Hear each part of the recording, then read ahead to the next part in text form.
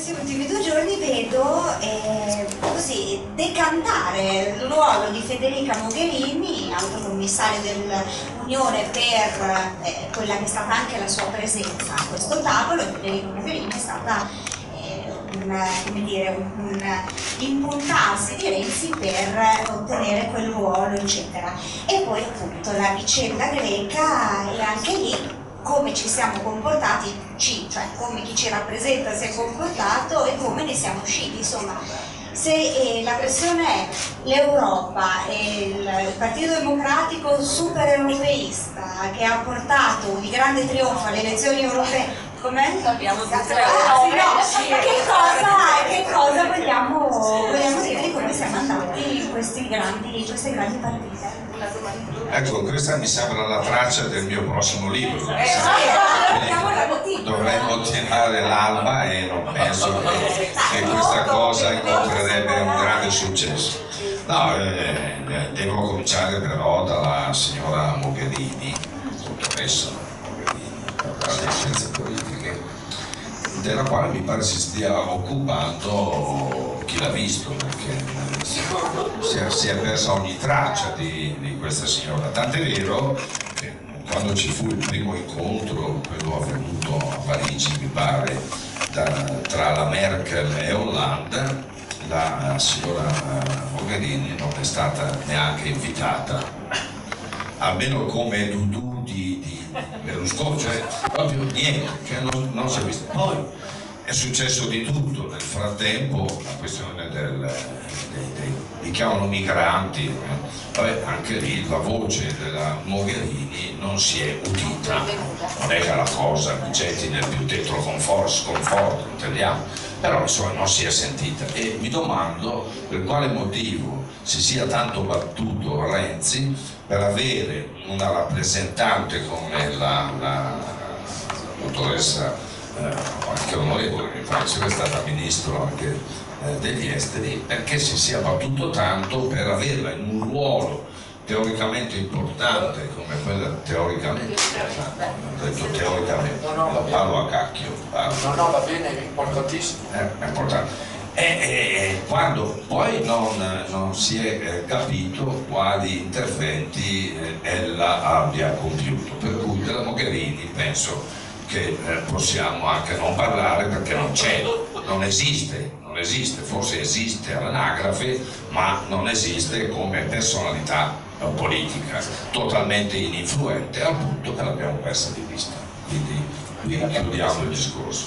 Per quanto riguarda il problema eh, de- dell'immigrazione, il discorso che avrebbe dovuto fare Renzi eh, doveva essere un altro, cioè improntato alla sincerità. Cioè noi siamo un paese tutt'altro che razzista, tant'è che da 15 anni, forse anche 20, andiamo a raccattare per i mari dei poveri sventurati che vogliono lasciare il loro paese, li salviamo nei limiti delle nostre possibilità, eh, evitiamo spesso che muoiano annegati, qualcuno ci sfugge, non certo per colpa nostra, comunque ci siamo svenati per fare tutto questo, anche per un'accoglienza che non potremmo permetterci.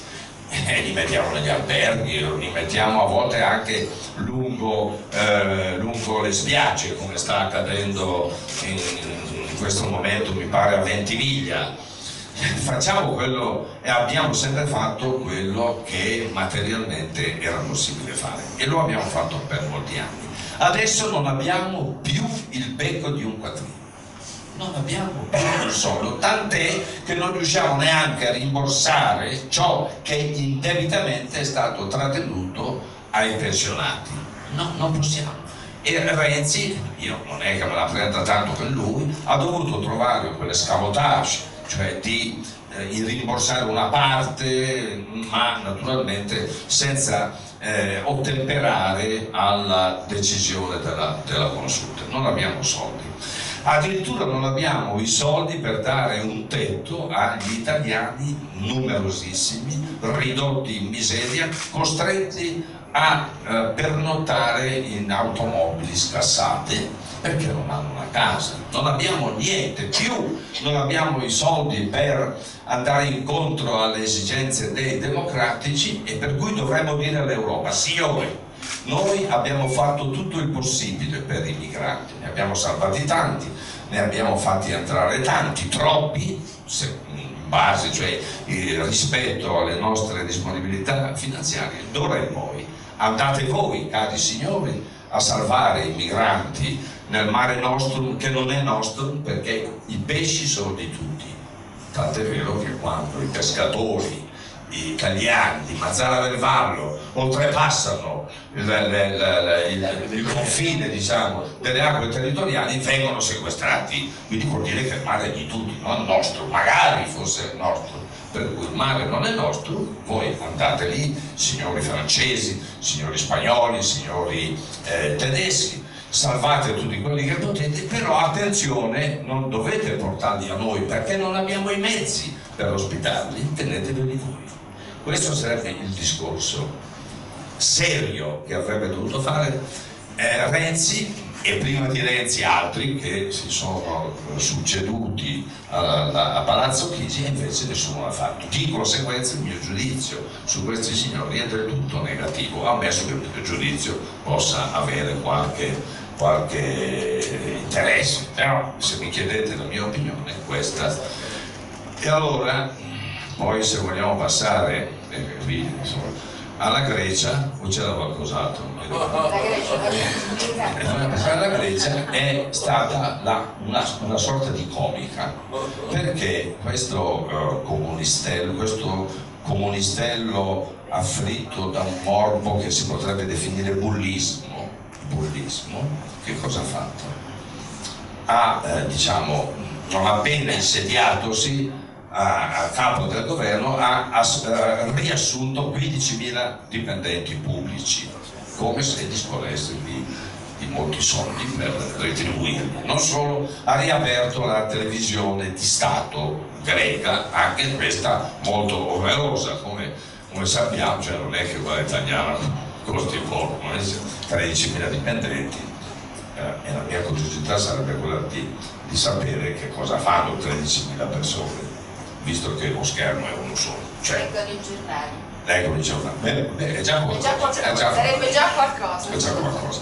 Comunque, insomma, questo signore si è messo a spendere anziché a risparmiare. Beh, a fare i suoi, il paese è suo, c'è poco, c'è poco da, da, da, da discutere. Ebbene, a un certo punto va in Europa e anche forse giustamente respinge le proposte dell'Unione Europea, proposte di, di austerity, eh, tagli, eh, sacrifici, eccetera.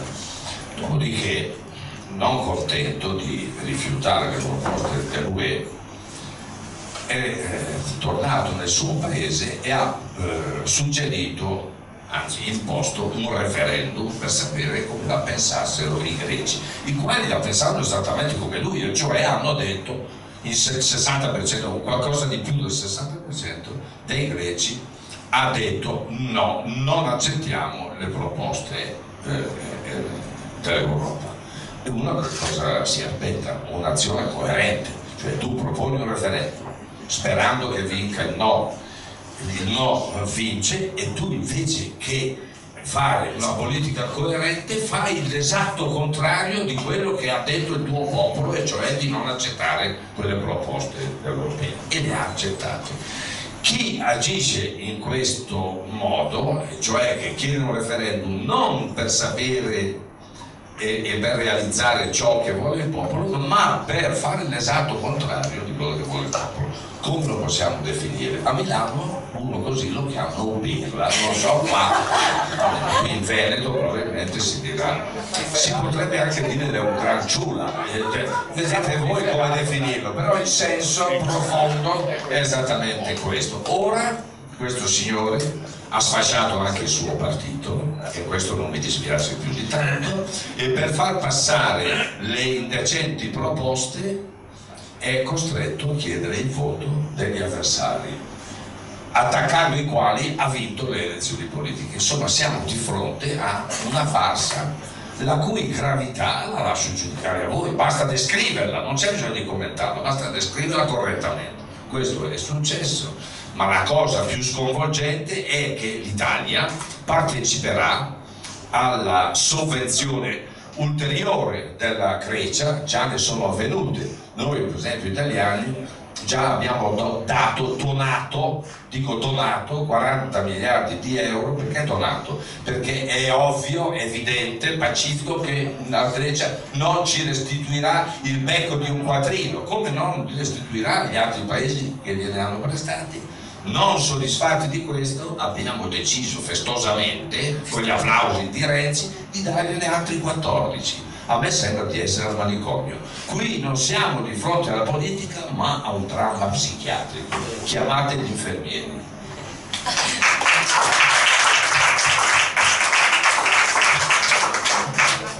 E rimanendo in tema di dramma psichiatrico, una curiosità, ma la signora Merkel, scusate, la signora Merkel che diciamo ha condotto no, un po' questo balletto adesso, cioè, qual è la tua lettura dell'atteggiamento della signora Merkel che si è portata dietro poi Hollande, Renzi, eccetera, eccetera? Dove ci porterà tutto questo veramente, nonostante poi le rassicurazioni di Padoan, se tu le ritieni eh, veritiere oppure se fa parte sempre della commedia degli equivoci del nostro Sì. governo in, alcuni- in alcune situazioni?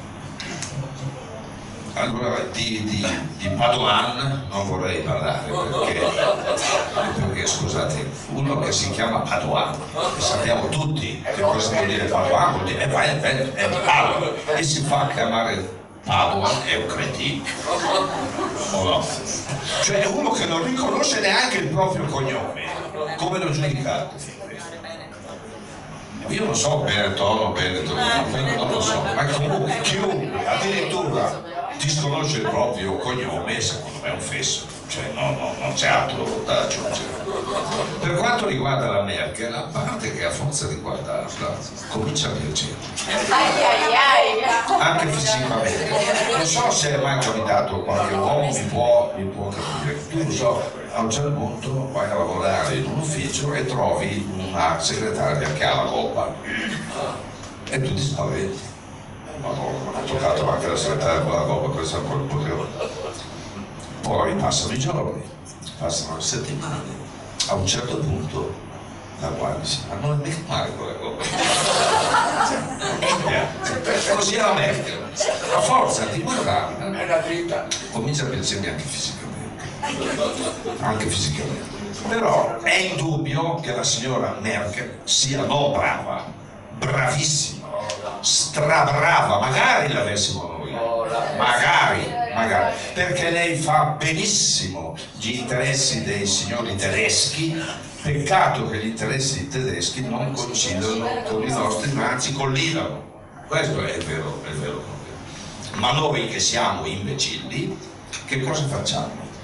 Ogni volta che abbiamo un nuovo Presidente del Consiglio, costui va subito a Berlino, non a Bruxelles, a baciare la pantofola alla Merkel. Attenzione, quando Monti divenne per vie misteriose Presidente del, del- del Consiglio, la prima cosa che fece fu quella di recarsi a Berlino a baciare la pantofola alla Merkel, la quale al termine dell'incontro organizzò una conferenza stampa, ve lo ricorderete, e disse le proposte, le idee, i programmi di Monti, questo nuovo Presidente del Consiglio italiano, professore della Bocconi, mi hanno impressionato. impressionato. Ci siamo convinti, chissà cosa avrà detto Monti, perché allora non lo conoscevamo bene, chissà cosa avrà detto. Invece si è limitato a dire signor sì, ja, jawohl, jawohl, jawohl, e, e poi se n'è andato. È durato poco il nostro, il nostro estinto, perché ormai non c'è più Monti, è stato sostituito da Enrico Letta, il quale dopo 3-4 giorni che era a Palazzo Chigi, ha fatto la stessa cosa. È partito, ha sprombattuto in aereo, Berlino ha incontrato la signora Merkel, anche lui ha piazzato la pantofola, eh, non si sa esattamente che cosa si siano detti, sta di fatto che anche in quella circostanza la Merkel fece immediatamente dopo l'incontro una conferenza stampa. E disse questo giovane premier italiano, giovane premier italiano, mi ha detto quali sono le sue idee, quali siano i suoi programmi e sono rimasta non impressionata, molto impressionata. Una che si impressiona davanti a Enrico Letta, secondo me, beh, eh, si sta prendendo un po' per il culo, scusate, no? Eh, ma non è finita, è finita. E, e, Enrico Letta è durato molto poco, come un sospiro, ed è stato eh, subito, no, subito sostituito da Renzi, anche lui immediatamente, Palazzo Chigi, ed è andato a Berlino. Anche lui era talmente agitato che ha sbagliato anche ad allacciarsi i bottoni del cappotto. Sì, sì. Era così praticamente, no? così, si presentava così, il che aveva un effetto comico, però anche, anche un po' tenera la, situazione. Benissimo. Colloquio durato non più di un quarto d'ora, al termine Merkel fa la solita conferenza di stampa e dice questo giovanissimo presidente del Consiglio italiano. Mi ha veramente molto molto impressionata ma se ti impressiona anche questo qui la presa per il culo è completa. Infatti tutti e tre hanno assolutamente ubbidito alla, alla, alla cancelliera, evidentemente c'è un atteggiamento, diciamo, di sottomissione che è, è, è palese, è, lo si coglie anche dagli atteggiamenti fisici dei nostri eh, presidenti del Consiglio, che dimostrano in questo modo di essere totalmente succubi e non meritano altro, non sono mh, mm, assolutamente in grado di, di, far valere le nostre esigenze, di far valere anche le aspettative eh, degli italiani. Nessuno ci ha mai spiegato per quale motivo l'Europa, l'area cosiddetta dell'euro sia costituita da 19 paesi, ma ce ne sia soltanto uno che comanda. Quindi siamo di fronte al quarto Reich. Io all'argomento quarto Reich ho dedicato un libro che è negli Oscar Mondadori e, e, e, e ho cercato di spiegare tutte le motivazioni che hanno indotto la Merkel a comportarsi così giustamente e che noi sen, senza senso critico abbiamo eh, supinamente accettato. Siamo in questo, in questo momento diciamo così, in una situazione quasi drammatica, perché continuiamo e tutti continuano a difendere l'euro, se tu casomai, quando sei davanti a qualcuno, sei in televisione o in un qualsiasi salotto e manifesti le tue perplessità sull'Europa e sull'euro, ti guardano come un demente. Beh, ti guardano con disprezzo, dice questo cretino non sa che l'euro è irreversibile, che è la frase che gira, cioè, l'euro è irreversibile. E questi idioti non sanno che di irreversibile c'è soltanto la morte, verso la quale andiamo a galoppo, perché se andiamo avanti così non è che potremo fare eh, di meglio. Come si possa pensare che una moneta unica possa stare bene a 19 paesi, ciascuno dei quali ha un'economia diversissima, io questo francamente non lo capirò mai. Probabilmente sono cretino, però devo aggiungere che gli economisti, se avete fatto caso, tutti gli economisti, tutti, anche i più bravi, sono poveri. Sono poveri. Mi viene il sospetto che siano, siano anche cretini. Che se no sarebbero ricchi. No, sarebbero anche ricchi, o quantomeno benestanti. Invece sono costretti a farsi fare senatori a vita per poter sbarcare il lunario. Questo secondo me la dice lunga anche sul loro livello, non solo mentale ma anche professionale.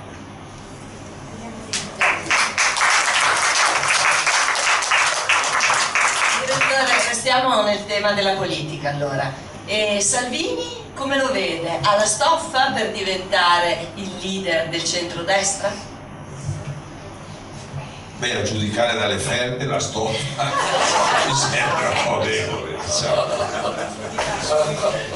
Però,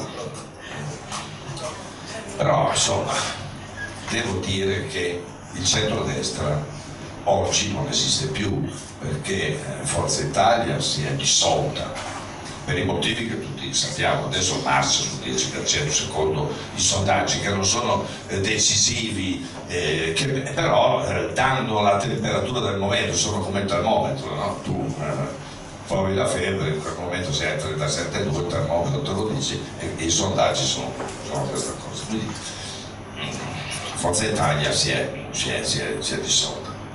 Ma perché si è dissolta? Perché una volta era forte il centro, il centro-destra, se non che eh, eh, era come un salame, il centro-destra, un bel salame.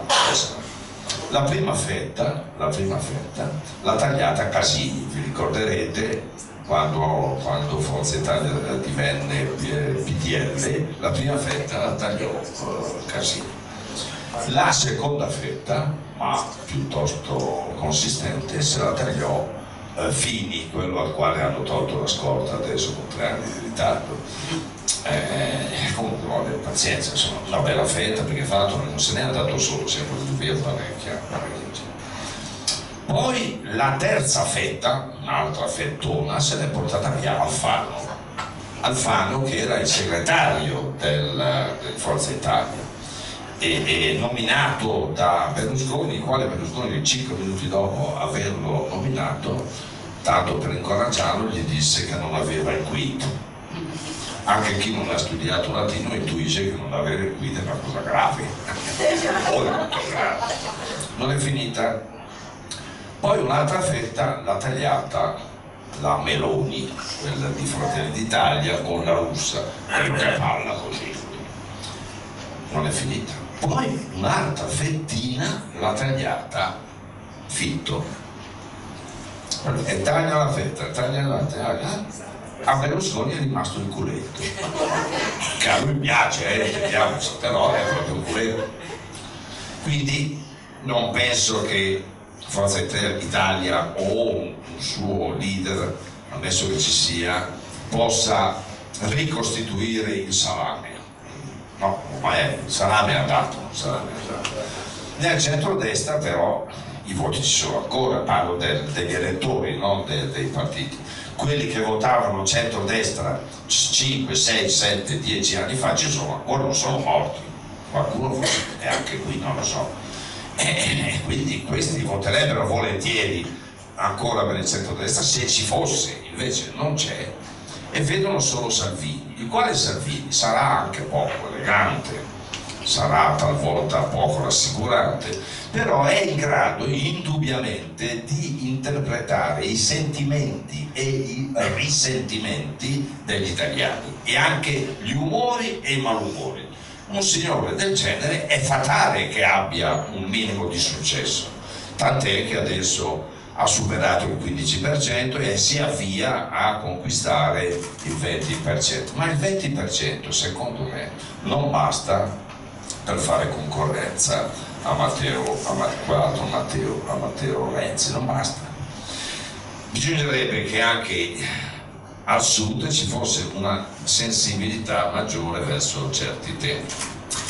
In realtà invece al sud ce l'hanno ancora nel profondo dell'animo una certa antipatia per la Lega che per anni ha fatto una politica antiterrora, diciamo, parliamoci chiaro, antiterrora, come se tutti i mali italiani dipendessero dai meridionali, i quali oggi è difficile che diano eh, un suffragio, il consenso. Sì, qualcuno sì, ma non in misura sufficiente per costituire un partito alternativo al Partito Democratico. Per cui Salvini è l'unico leader che si faccia sentire, che abbia una, una caratura, ma forse dal mio punto di vista non è in grado di prendere in mano tutta l'orchestrina e di portarla alla vittoria. Grazie. Vittorio, tanto per abbandonare momentaneamente la politica, tu sei tagliente con tutti i grandi personaggi, economia, politica, non risparmi nessuno, però sei uno dei pochi, tra l'altro aperta e chiusa parentesi, visto che io mi occupo di motori, sei uno dei pochi che ha avuto il coraggio di dire che Agnelli era un grande bluff.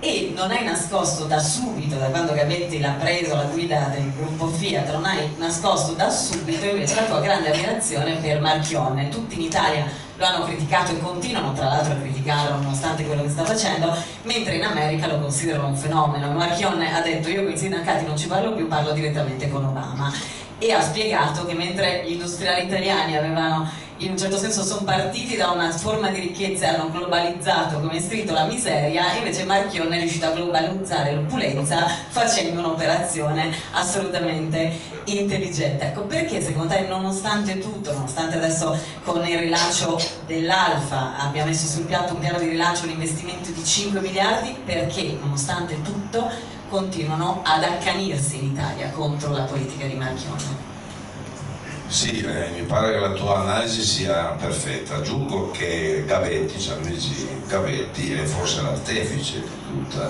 la rinascita della Fiat. Non si dice anche perché Gavetti è un personaggio che non ama mettersi in mostra, non sale sul palcoscenico, ma l'assunzione di Marchionne è stata fatta proprio da, da Gavetti, è stato Gavetti a, a imporre questa decisione che si è rivelata salvifica, felice ma è ovvio che Marchionne stia sulle a, in Italia, a tanta gente, perché in Italia prevale ancora, nonostante la caduta del muro di Berlino, la, la dissoluzione dell'impero sovietico, nonostante il fallimento dei sindacati italiani, lo sappiamo tutti che c'è stato un fallimento, ormai solo Landini riesce ad avere visibilità perché è uno che... Eh, e quando, quando parla, se, se, se, tu metti in mano il microfono per portarglielo via anche per devi fare intervenire quelli con la fiamma ossidrica, parla, urla. E quindi in Italia uno che urla così ha sempre un certo senso. In sostanza in Italia ancora prevale la mentalità, la cultura non filo impresa ma anti impresa, anticapitalistica la semina che ha fatto il Partito Comunista per anni e anni e i sindacati naturalmente che erano la cinghia di trasmissione, braccio armato diciamo così eh, del, del, del PC, eh, eh, hanno trasformato la mentalità di molti italiani che sono ancora convinti che per esempio non solo i grandi capitalisti alla Agnelli, su cui poi dirò qualcosa, non, non eh, eh, anche nei confronti delle partite IVA c'è la favola in giro secondo la quale le partite IVA sono tutti evasori fiscali, tutti ladri, tranne i lavoratori dipendenti, i quali certo che non sono ladri perché le trattenute fiscali gliene fanno la fonte, guarda caso chi le paga quelle trattenute lì, gli imprenditori. E noi siamo nemici degli imprenditori, però attenzione, anche questo governo qui, ma anche i precedenti, continuano a dire di destra e di sinistra che il problema numero uno in Italia è il lavoro. Bisogna creare nuovi posti di lavoro e rilanciare l'economia. Ma secondo voi chi può creare posti di lavoro se non gli imprenditori? E invece tutta la politica nazionale, oltre a quella sindacale, sono ostili alle imprese, cioè noi combattiamo coloro i quali possono creare i posti di lavoro. Siamo sempre a livello psichiatrico, infatti non, non c'è un'altra eh, spiegazione. Qui bisogna incrementare le scuole delle infermiere, psichiatri, perché bisogna riaprire i manicomi, bisogna fare cose. Eh, siamo alla follia come fai a creare i posti di lavoro se non fai nuove imprese, se le imprese non sono fiorenti, come possono assumere Allora, di fronte a uno spettacolo così deprimente, Marchione, che è un uomo intelligente, che, ha, che è un uomo anche internazionale, quindi non è il burinetto eh, abruzzese, che so io, campano, siciliano, è un signore che ha lavorato all'estero, conosce bene i mercati, conosce anche gli uomini. Visto lo spettacolo, valutati gli uomini di cui era circondato, dopo aver fatto vari incontri con i sindacati, si è persuaso che qui la battaglia era persa. Non c'era, e se n'è andato via e ha salvato la Fiat e quindi lui ha fatto la sua parte e ha fatto benissimo. Qualche fesso, e ce ne sono tanti, rimprovera a Marchionne ciò che Marchionne non ha fatto, e cioè la Fiat per molti anni è stata eh, suffragata, diciamo così, da una serie di uomini politici che hanno fatto avere al, ad Agnelli, alla famiglia molti soldi per tenere aperte le fabbriche, insomma, molti. E effettivamente, ma la colpa di chi era? Della Fiat che riscuoteva o di quei coglioni che glieli davano? Di quelli che ne E quelli erano chi? I politici. Ma Marchione non si è fatto dare neanche una lira dallo Stato. Se n'è andato e ha dimostrato a tutto il mondo, persino all'Italia, che è l'ultimo a capire, persino all'Italia, che la Fiat non era assolutamente morta, ma poteva riprendersi. Se non che, guarda un po', Marchione negli Stati Uniti è considerato una specie di dio in terra e noi continuiamo a considerarlo un affamatore eh, del popolo, quando invece la situazione è esattamente come ve l'ho descritta io che non ho nessun interesse perché non ho neanche una fidanzata nella famiglia Agnelli, quindi non, non devo difendere nessuno. Quanto a eh, Gianni Agnelli, che è stato l'uomo più adorato d'Italia, addirittura paragonato a un monarca, il vero re d'Italia. Ma che cosa ha fatto questo signore? Ha ereditato una bella fabbrica di automobili da Valletta e ha restituito un rottame quando è morto, perché non ha saputo fare niente, nulla. Ha fatto il presidente della Confindustria, l'ha fallito perché ha introdotto il punto di contingenza famoso, d'accordo con l'AMA, quindi quando un padrone va d'accordo con un sindacalista o c'è qualcosa che non va nei sindacati o c'è qualcosa che non va nel padrone, è evidente, è evidente, è evidente. Comunque, tut- oggi, ancora oggi, Agnelli è considerato una specie di divinità, ma l'unica cosa veramente originale che ha fatto è stata quella di mettere l'orologio sul polsino della camicia, un po' poco per essere rispettato da noi che per fortuna siamo ancora qui. Anche la cravatta si fa La cravatta si chiude, l'orologio sul polsino. Grazie. Direttore, a proposito di emergenza, quanto tempo resta ai giornali cartacei? L'informazione corre sul web, abbiamo capito, insomma, gli addetti ai lavori che leggono i giornali, eh, per cui vista anche la sua lunga esperienza, no? li ha salvati tanti, li ha rilanciati, crede di avere, eh, insomma, che abbiamo ancora speranza. Domandina questa? Io, eh, io credo che il giornalismo così come lo facciamo oggi sia agonizzante, ma questo però lo sai, lo sai anche tu, lo, lo vediamo tutti. Esattamente però come la TV generalista, che comincia a dare dei brutti segnali. Ma il motivo vero per cui i, i giornali cartacei sono in, difficoltà non è solo eh, la concorrenza spietata di internet, della stessa televisione tipo Sky che ogni mezz'ora fa un notiziario, oppure eh, ciascuno di noi quando entra in macchina la mattina che va al lavoro o quando ritorna dal lavoro, la prima cosa che fa è accendere la radio e lì ci sono subito 14 notiziari che ti danno informazioni in tempo reale, quando tu arrivi a casa e poi a- metti, eh, me- metti, che so io, d'inverno il cappotto, d'estate la borsa e poi ti scaraventi in poltrona, la prima cosa che fai è accendi la televisione e lì già vieni informato di tutto. Quindi la mattina dopo, quando eh, esci di casa e vai in edicola e chiedi mi dia il Corriere della Sera, cioè, dico eh, e lo prendi in mano, ti, viene spontaneo di dire al, al, all'edicolante no guardi, quello di oggi perché questo è quello di ieri. Infatti noi facciamo i giornali esattamente come li facciamo 30 anni fa quando non avevamo la concorrenza di altri media. È evidente che se noi seguiamo il notiziario spicciolo, abbiamo il terrore del buco, in gergo si cos'è il buco? È la notizia che eh, non abbiamo valorizzato, non abbiamo capito, non abbiamo colto. E così il giornale non, non può avere futuro.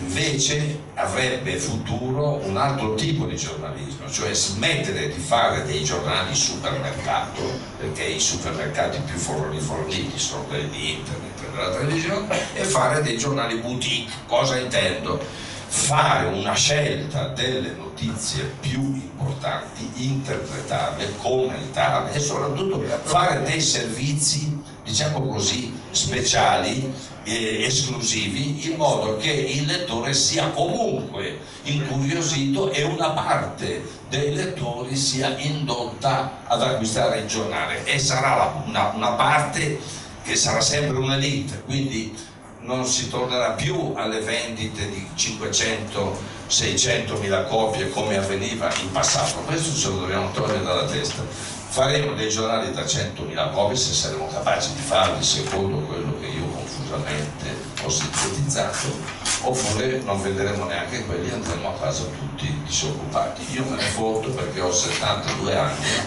e quindi cioè a me diciamo che non, so, so, non me ne frega niente dei giorni, mi sono anche antipatici, da quando sono vecchio mi sono antipatici, cioè, ovvio, no? anche perché aspettano solo che tu crepi per prenderti il posto, non sono capaci di rubartelo prima al posto se fossero capaci, no, aspettano che tu crepi oppure ti fanno gli sgambetti, fanno le cose così, ti svitano i bulloni della ruota della, macchina per farti morire prima invece io sto al mondo per far rabbia a loro. Però i giovani, i giovani devono sapere che hanno, hanno l'obbligo di, di portare qualcosa di nuovo, ma se invece continuano a imitare quel vecchiume, il peggior vecchiume che noi abbiamo fatto per 50 anni non potranno andare da nessuna parte perché l'esigenza di sapere che cosa accade nel mondo. Ci sarà sempre questa esigenza ma sono i giornalisti che devono adattarsi ai nuovi media, non sono i media che devono adattarsi ai giovani,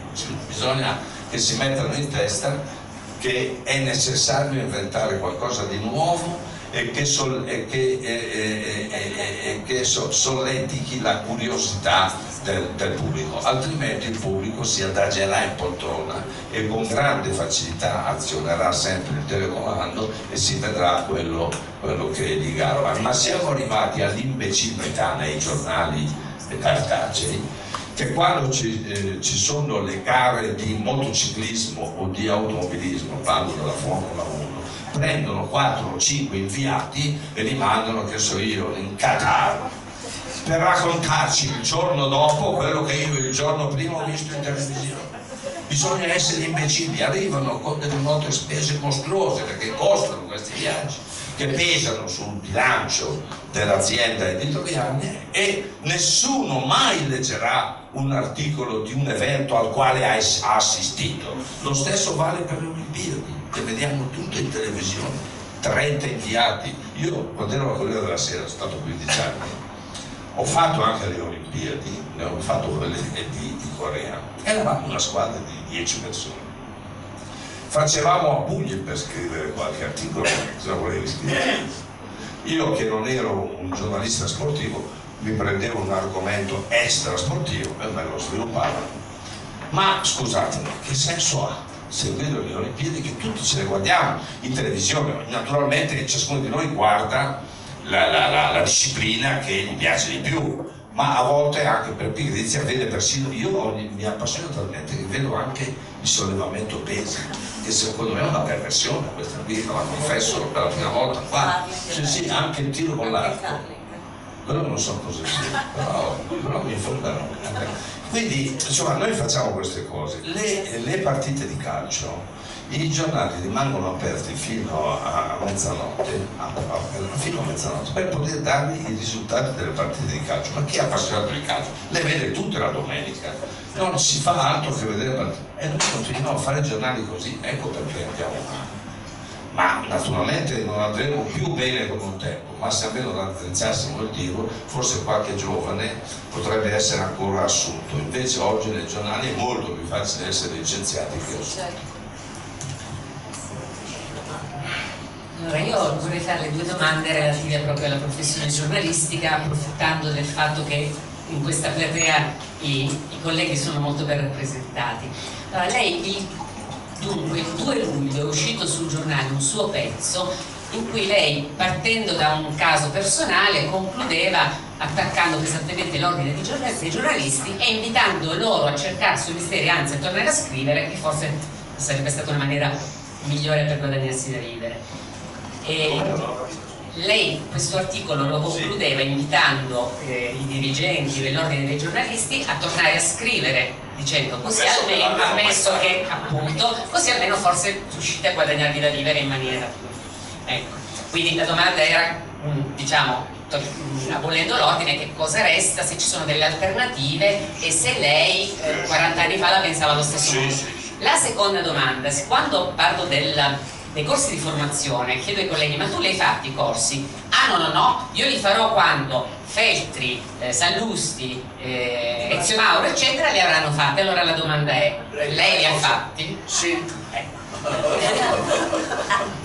Cara ragazza, io i corsi li ho fatti ridendo, ridendo, autosfottendomi, considerando stupidi coloro i quali li hanno inventati, lo dico apertamente, ma li ho fatti perché fin tanto che questo organismo stupido esiste, io mi attengo, perché è la legge che ha creato l'ordine. Devo però aggiungere che l'ordine dei giornalisti esiste solo in Italia non esiste in nessun altro paese. L'Inghilterra, dove è nata la democrazia, altro che Pericle, altro che Grecia, saluta Massocrate, è nata in Inghilterra. La libertà di stampa è nata in Inghilterra, eppure in Inghilterra non solo non c'è l'ordine dei giornalisti, ma non c'è neanche la Costituzione tanto adorata e quindi non c'è neanche la Corte Costituzionale, ma non lo sa nessuno.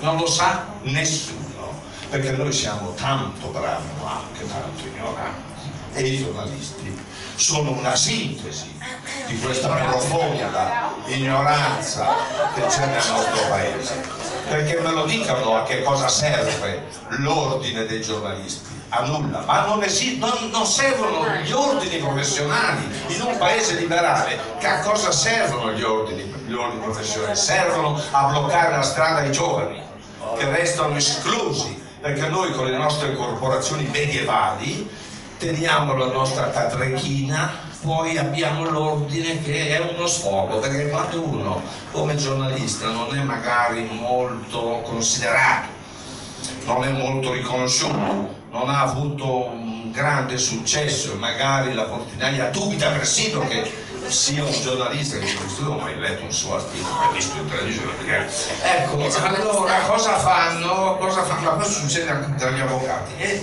si buttano nell'ordine sperando di diventare consiglieri, di fare qui, di fare così. Quando qualcuno dice ma tu cosa fai? Io sono consigliere, presidente dell'ordine nazionale dei giornali, anzi regionale, e capite che insomma siamo di fronte a uno squallore pazzesco. Dopodiché cosa succede? Che costoro, che nessuno conosce, che non sono dei personaggi ai quali riconosci immediatamente un'autorevolezza tale da poter giudicare chissà chi, questi qui se tu fai una cosa che a loro non piace, ti processano. Ve ne dico una che vi farà fare la pipì sotto da ridere. Io al giornale, qualche anno fa, feci, in conseguenza degli attacchi che subirono gli extracomunitari in Calabria da parte dei calabresi, ricordate, non ricordo, Rosano, Rosano, io feci il seguente titolo con un mio articolo che spiegava i motivi per cui avevo fatto questo titolo, hanno ragione i negri, hanno ragione i negri, mi hanno processato non perché io abbia attaccato i negri che invece difendevo, come d'altra parte annunciavo nel titolo, ma perché avevo usato il termine negri. Per quattro anni sono stato sotto processo, poi assolto perché il pudore ce l'hanno persino quelli dell'ordine dei giornalisti. Sono stato assolto, sono stato assolto 3-4 mesi fa. Tant'è che poi per ridere la mattina che ho saputo che ero stato assolto, ho chiamato il taxi a casa mia il tassista mi dice ma dove la porto? Mi porti in via Neri. guarda, guarda, c'è via Neri. No, no via Neri, ma dov'è via Neri? Cioè, eh, allora io non posso, cioè, lei deve capire, non posso usare la parola negri, via Negri 4 dove era sede del siamo arrivati a questo. Cioè Ada Negri l'hanno messa all'indice perché non si può dire negri.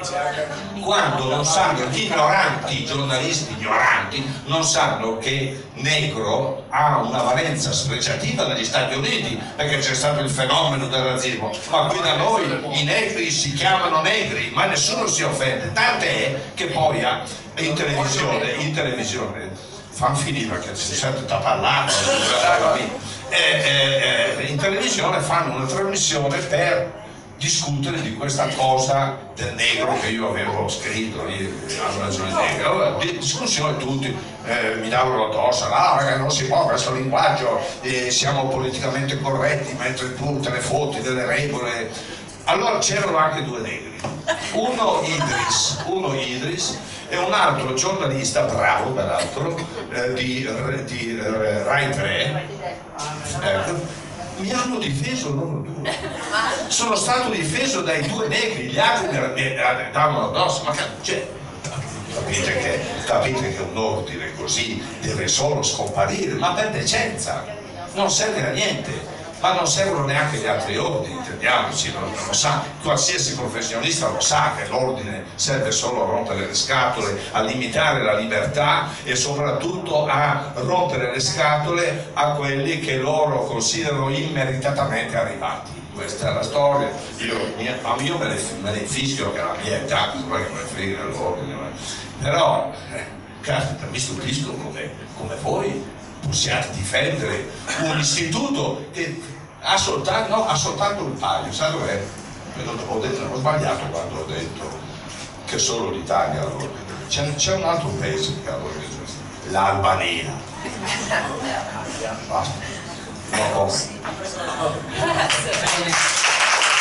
in chiusura, ma parliamo di turismo prima di lasciare il il momento dedicato a Cortina Top Press, che è questo premio speciale di cui poi ci parlerà Chiara Feliceti, visto che dunque parliamo di turismo, che oggi abbiamo parlato di turismo, eh, tu hai fatto notare più volte come l'Italia, ed è indubbio, non sappia valorizzare il suo patrimonio. Siamo il paese che ha la maggior concentrazione di siti UNESCO, quindi siti patrimonio dell'umanità UNESCO, la maggiore densità culturale, eppure abbiamo l'hardware, quindi abbiamo eh, l'hardware di bellezza, ma non abbiamo il software, quindi non abbiamo più eh, l'infrastruttura che possa gestire tutto ciò. Tra l'altro eh, leggevo recentemente che eh, in, in, Inghilterra la Tate Gallery fa un fatturato di merchandising che è pari a tutto il fatturato del comparto culturale pubblico italiano. Questo vuol dire che noi per esempio non abbiamo dei dirigenti, dei direttori dei musei che siano anche scelti in base a dei criteri proprio manageriali. Perché? Guarda, ho visto pochi giorni fa in televisione un servizio fantastico sulla RAI, e cioè una, una visita fatta di sorpresa alla casa di Pirandello. Casa di Pirandello che non è, non è Versailles, è una casettina. 54, 54 custodi 50 locali, ce n'era presente nessuno, ma non neanche l'italiano, eh, ne era presente uno solo, gli altri 53 secondo voi dove dovevano? A casa, non si, sa. Allora, se noi usiamo il nostro patrimonio artistico e, e, e culturale in questa maniera non c'è da stupirsi, non solo che si trascuri una fonte di, di reddito che potrebbe essere immensa e inesauribile, ma addirittura la disprezziamo, la, la, la calpestiamo. E allora, però qui è inutile continuare a dare la colpa ai governanti, perché i governanti sono lo specchio di un popolo nostro che spera solo di sfruttare le situazioni per perdere degli stipendi senza fare un cacchio.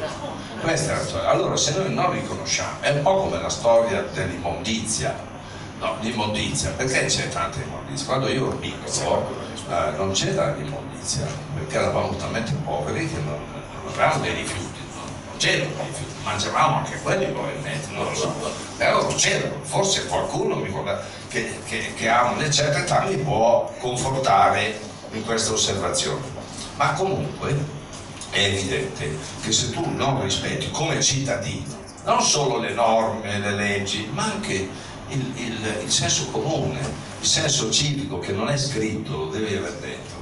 e se non ce l'hai dentro è inutile continuare. Io una volta, quando uccisero il commissario Cassarà a Palermo, parlo di 30 anni fa, lavoravo al Corriere, mi mandano a Palermo a fare servizio sulla morte di Cassarà. E allora cerco, eh, la segreteria del giornale mi cerca un albergo, perché no, è l'albergo delle Palme, che è il numero, il più bello albergo di Palermo. Io arrivo verso le 6 del pomeriggio, dovevo anche scrivere l'articolo, e con la mia camera a processia pronta, vado di terzo piano, io entro in camera, il letto era spento, il cesso era spento, il frigorifero era pronto. Allora chiamo e dico, ma scusate, ma che camera l'avete dato? E mi cazzo anche un pochino. Eh, peggio, è stato peggio, perché? La camera me l'hanno rifatta a, a, in qualche modo. Ho chiesto due bottiglie di acqua minerale quando scrivo, bevi, sai, no, sai, un po' di accettazione, bevi l'acqua, fa. me le hanno portate all'una del giorno dopo. Se l'hotel delle Panne a Palermo funziona così, cosa volete che faccia? Ma dove va la Sicilia? Ma come può sfruttare il turismo?